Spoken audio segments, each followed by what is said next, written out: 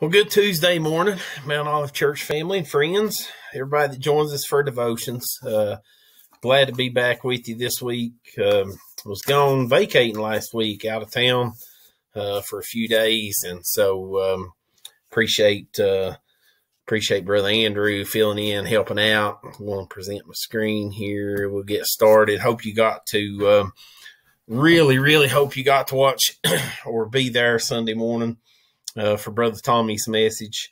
Uh, that's what we're going to continue on with our devotion here uh, today.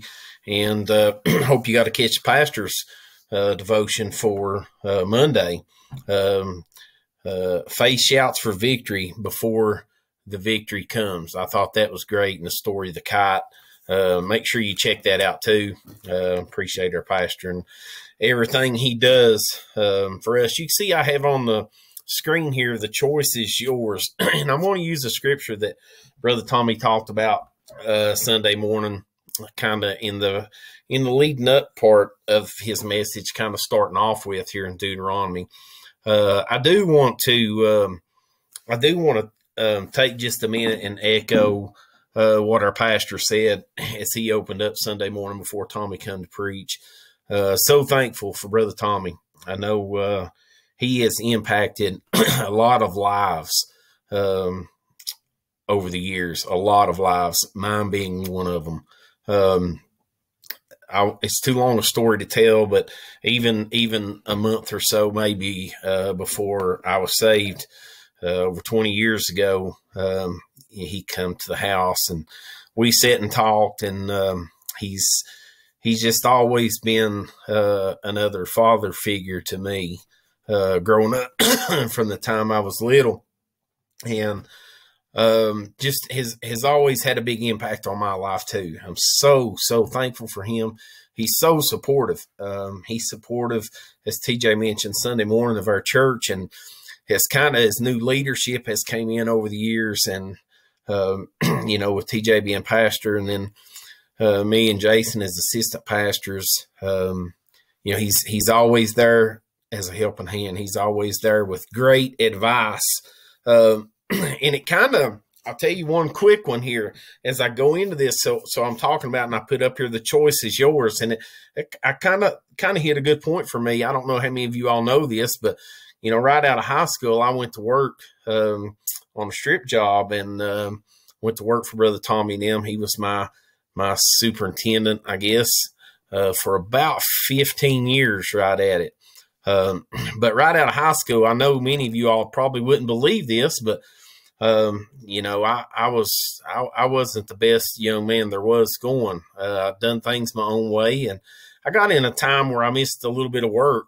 Um, I got myself in a little bit of trouble. Um, I told you, you probably wouldn't believe this, but I did. Uh, got myself in a little bit of trouble, and you know, he come and talked to me one day, and uh, this in talking about him impacting my life, he come and talked to me one day uh, at work and uh, put me in the vehicle with him. And uh, we always had that laughing joke at work: if he put you in the vehicle, you were in trouble. Um, but Tommy had a pretty good heart to heart talk with me that day, uh, and he pretty well gave me that day a choice. Uh, he said, "You need to decide if this is what you want to do."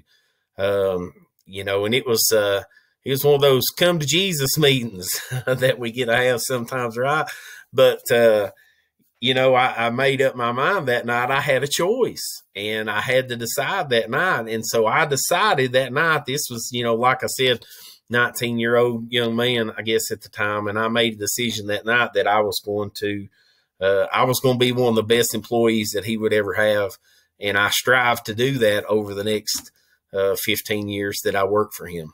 Uh, but he gave me a choice, and I'm gonna go. I thought that was just a good story for you all. Um, so he talked about this, and, and he led off with this, and I thought this was good. I, this is where I want to hit my devotion on today. Uh, Deuteronomy uh, chapter 30 and verse 19 and 20.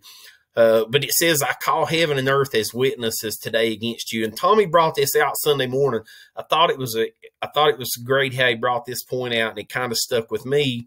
Uh, I made some notes on this, and uh, but you know, he was saying here, this is very important.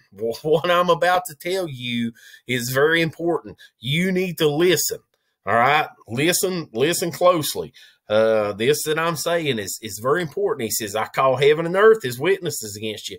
I have set before you life and death, life and death, uh, blessings and cursings. And then he says this, therefore choose life. And I highlighted that. Therefore, choose life that both you look what that brings. Let's let's talk about this just for a second. That if you choose life, if you choose life, you choose the blessings that God has to offer. Look at what that does.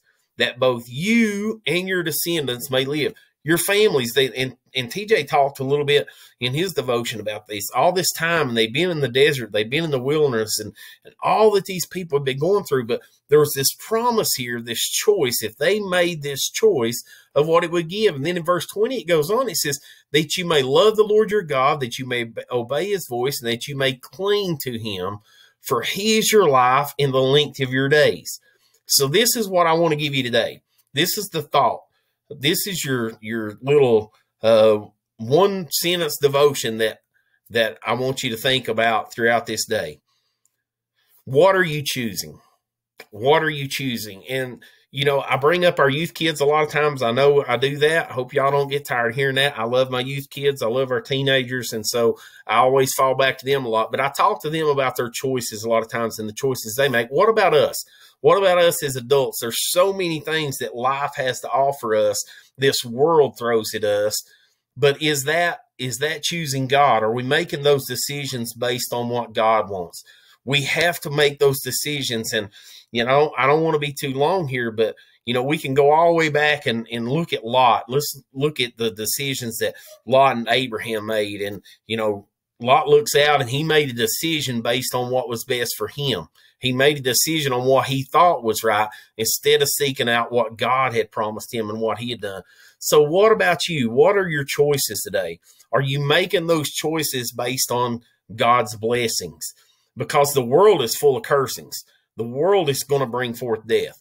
So we have to choose according to what God is offering us. So that's the only thing that I want to leave you with today. That's that's the one thought that I want to to give to you. God has set before you life and death. God has set before you blessings and cursings. Choose life.